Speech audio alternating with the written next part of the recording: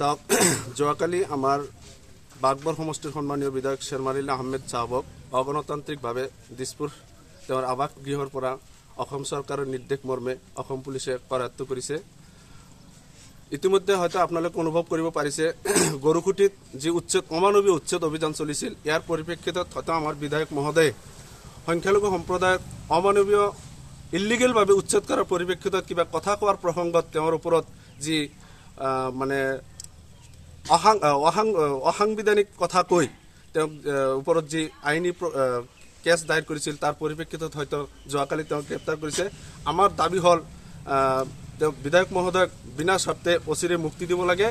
আমি সমগ্ৰ বাগবৰ সমষ্টিবাসীৰ ইতিমধ্যে তেওঁক গ্ৰেপ্তাৰ পৰিপ্ৰেক্ষিতত আমি আজি বন্ধ ঘোষণা কৰিছোঁ হাট বজাৰ ইত্যাদি বন্ধ ঘোষণা কৰিছোঁ। আৰু আমাৰ দাবী হ'ল আমাৰ বিধায়ক মহোদয়ক যদি অনতিপলমে বাৰ ঘণ্টাৰ ভিতৰত মুক্তি নিদিয়ে তেনেহ'লে আমি সমগ্ৰ বাগবৰ সমষ্টিৰ তথা সংখ্যালঘু সম্প্ৰদায়ৰ মানুহখিনি আমি তীব্ৰতৰভাৱে গণ আন্দোলন কৰিবলৈ আমি প্ৰস্তুত আছোঁ। সেইকাৰণে আমি চৰকাৰক দাবী উত্থাপন কৰিছোঁ অচিৰেই আমাৰ বিধায়ক মহোদয়ক বিনা স্বাৰ্থে মুক্তি দিব লাগে। চাওক যোৱাকালি সন্ধিয়া সাত বাজি পোন্ধৰ মিনিটত আমাৰ বাগবৰ সমষ্টিৰ মাননীয় বিধায়ক চেয়াৰমান আলী আহমেদক আহ, অগণতান্ত্ৰিকভাৱে অসম চৰকাৰে গ্ৰেপ্তাৰ কৰিছে।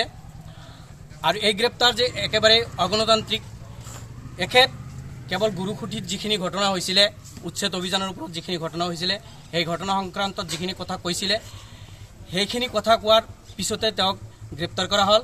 কিন্তু আমি দেখিবলৈ পাইছোঁ অসমত বিভিন্ন সময়ত বিজেপি দলৰ নেতা পালি নেতাসকলে বিভিন্ন ধৰণৰ সাম্প্ৰদায়িক মন্তব্য ইয়াতকৈ আৰু বেয়া সাম্প্ৰদায়িক মন্তব্য কৰা কৰা আমাৰ চকুত পৰিলক্ষিত হৈছে।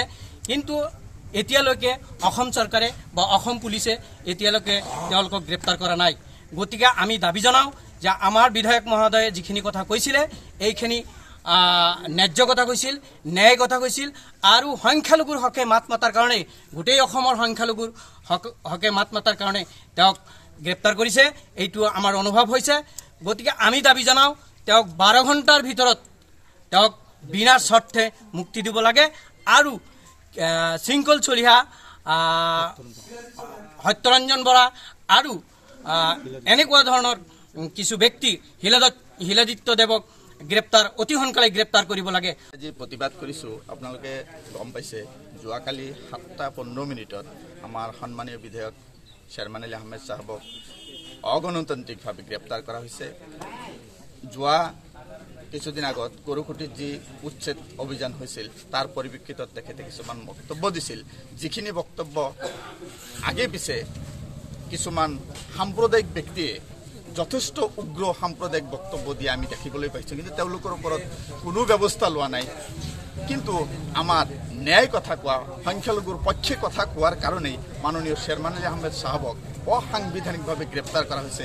তাৰ প্ৰতিবাদ আমি আজি কৰিছোঁ আৰু এই প্ৰতিবাদ আমাৰ আগন্তুক দিনত চলি থাকিব।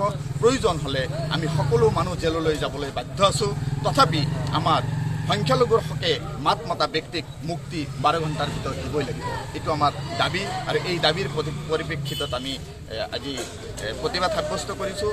আমি দেখা পাইছোঁ শৃংখল চলিহাৰ দৰে বা সত্যৰঞ্জন বৰাৰ দৰে শিলাদিত্য দেৱৰ দৰে উগ্ৰভাৱে উগ্ৰ সাম্প্ৰদায়িক মন্তব্য দিয়া ব্যক্তিক গ্ৰেপ্তাৰ কৰা নাই। লগতে কোনো সকিয়নিও দিয়া নাই। কিন্তু আমাৰ সংখ্যালঘুৰ হকে মাত মতা একমাত্ৰ সংখ্যালঘুৰ হকে মাত মতা কাৰণেই শ্বেৰমান আলী আহমেদ চাহাবক যোৱাকালি গ্ৰেপ্তাৰ কৰা হৈছে। আৰু ইয়াৰ প্ৰতিবাদত আমি সমগ্ৰ সংখ্যালঘু জনসাধাৰণ জাগি উঠিছোঁ। আৰু বাগমাৰা আমি বাগমাৰা চৰত প্ৰতিবাদ কৰিছোঁ। সামগ্ৰিকভাৱে কোনো দল নাই।